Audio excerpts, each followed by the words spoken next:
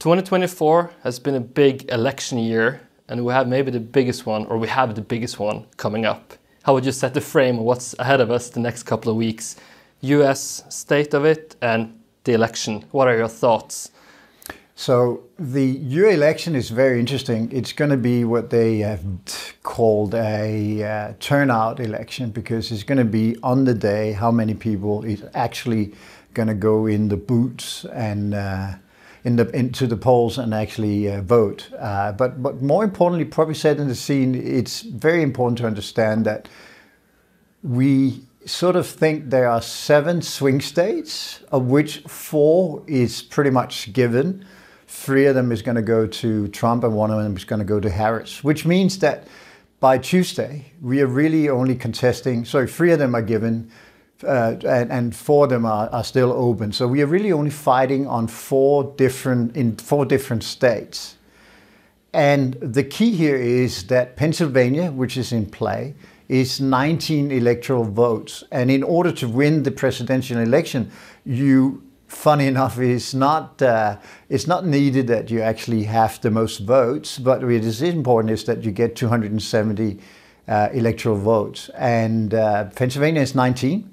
So they're critical for both of them. So basically, you know, making a long story short, whoever gets Pennsylvania will be very difficult to knock off on the final day. I predict that uh, the uh, the Pennsylvania probably goes to Harris, which means he's still not certain. So actually, in mathematical terms, Trump is rightly put as a favorite because if you run all of the iteration of four different states and how it can turn out, he has sort of a 60-40 advantage. But having said that, it is the turnout. It is, especially in my opinion, the uh, women coming out and actually voting. There is a huge uh, positive score for Harris on 17 percentage points on young uh, females. Similarly, actually, uh, Trump has a, like a 14, 15% advantage with young men. The difference is the young women is going to go vote. Not all of the P, uh, young men is going to vote. We know that from, from history. So my call is actually, and this is probably the worst scenario for the market, is that Harris takes it with 206, 270 votes against 268, which means he wins by two votes in the electoral college. And you can easily imagine what that would do.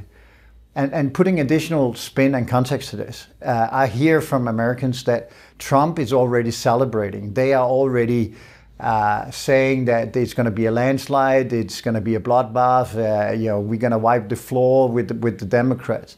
Of course, that is you know, probably not the case, but they are so confident that what they are leading into, in my opinion, is that if they lose, the reaction would immediately be the election was stolen, cheating, whatever. Also, because on a personal level, Trump goes to court less than three weeks after and is very likely to lose that court case. So he's not only fighting for his political life, he's also fighting for his, so to speak, legal uh, life. So the election uh, overall is driven by immigration, is driven by purchasing power of your of your of your purse, your salary and, uh, and, and, and abortion. That, th- those are the three items. But on the day, I think it's, it's probably going to be down to 30,000 votes or something uh, at the end of the day. So very, very tight. That's going to be extremely interesting. So one common question is, of course, given who wins it, what will change in terms of markets, etc. But another way of looking at it, sort of like the, the Jeff Bezos way of looking at it, is saying what will not change regardless of what happens. What do we know for a fact will happen regardless of who wins the election. And I'm just thinking the way you have studied the US economy with the debt, with keeping markets artificially high, raising a middle class again, all of these things will stand, I guess, regardless of who takes it. So, what is like the future in US regardless of who wins the election? You're absolutely right. And it's kind of interesting. Both your question melds into one because the number one thing that will not change is the fiscal dominance that we see from the US government which now, unfortunately, is supported by uh, the Federal Reserve, who no longer can deem themselves to be an independent central bank. But let's come back to that later. But what is absolutely clear, if you look at the uh, CBO, the uh, the uh, the Congress uh, Budget Office, which is an independent unit, they don't foresee any deficit smaller than five percent of GDP for the next uh, 20 years. And uh, they do that with a very high uh, actual uh, real uh, growth in the economy. It's very likely we will, you know, sometimes be better than that, but it's also like there will be worse. So these sort of outlooks are very very dire. And as we go into this election, I think it's super interesting that the market is already, and when I talk about the market here, I'm talking about the bond market, is already in a buying strike. They've refused to do it. And why do we know this? We know this because when Federal Reserve lowered interest rate by 50 basis point at the last FOMC meeting, the market came back to Powell and the FOMC and said, listen, you can cut the interest rate as much as you want. That's your prerogative in the short end. But we are not going to accept uh, anything in the long end of the curve unless you give us a higher compensation.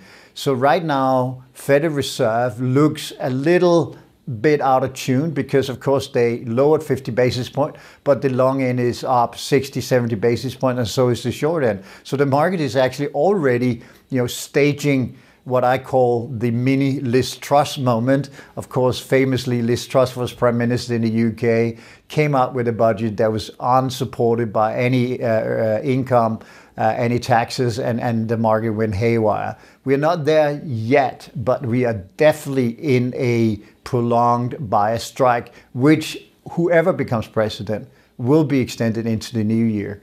That also, in my opinion, sets up what's going to be not only the trade in Q3 and Q4 of this year, but potentially for a couple of years. That if you think about the assets available for you as an investor, you traditionally, in all the time I've been around, and unfortunately that's a long time, uh, bond has sort of been a safe, uh, safe haven instrument. It's been instrument which was sort of countering the risk you're taking in equity and private equity and whatever uh, commodity you were involved with. Now, no one wants it. Everyone's going to shy away from it because the market says, listen, this is what we call a denominator game. So if you think about an equation, you have on the top part, you have what is growing at, uh, at, at the rate of the economy, we, the nominal growth of the economy, and below you have uh, the debt uh, on it. And here, in order to stay away from the debt as an asset uh, allocator or an investor, you are buying what? You're buying gold, you're buying silver, you're buying crypto, and to some extent you deem and, and, and accept that the equity is semi non-fiat. So fiat, the concept that you can issue money as a central bank with no collateral behind it, that is falling by the wayside. And that is being extended in sort of magnitude to, to impact because the global south, the non-Western economies, they are basically uh, buying gold, trying to set up an alternative funding currency that can be used by these non-Western players. So the tectonic plates, although they look very slow moving from sort of the from from from 10,000 feet, are moving pretty pretty dramatically in terms of what goes on. So what is very likely to inevitably happen is, as you say yourself, is that the fiscal constraints or the fiscal dominance will continue, and at the same time we're probably going to have ultimately people start challenging the concept of a strong dollar. Mm. Because why is the dollar strong right now, right here? Because the US sucks takes out all the liquidity for the rest of the world. I don't know a single investor globally who is not long the US stock market. You know, most families, the big sevens. But so think about they, they, they sort of taking all the excess capital available. The total amount of capital available to the world is smaller, but the US take a bigger part. That strengthens the dollar artificially in the short term, but ultimately the investor would want either higher rates mm. or weaker dollar. I think they're going to get you know a little bit higher rates but definitely a lower dollar in 25.